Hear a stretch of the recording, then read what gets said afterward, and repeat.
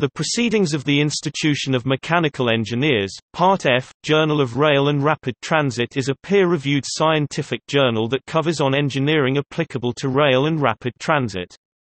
The journal was first published in 1989 as a split-off of Proceedings of the Institution of Mechanical Engineers. It is published by Sage Publications on behalf of the Institution of Mechanical Engineers.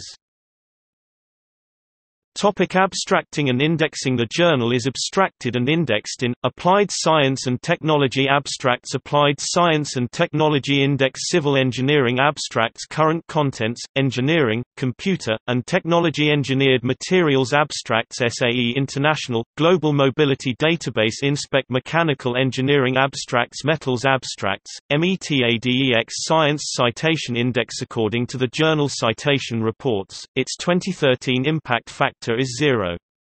743, ranking it 76th out of 124 journals in the category Engineering, Civil, 76th out of 126 journals in the category Engineering, Mechanical, and 20th out of 30 journals in the category Transportation Science and Technology.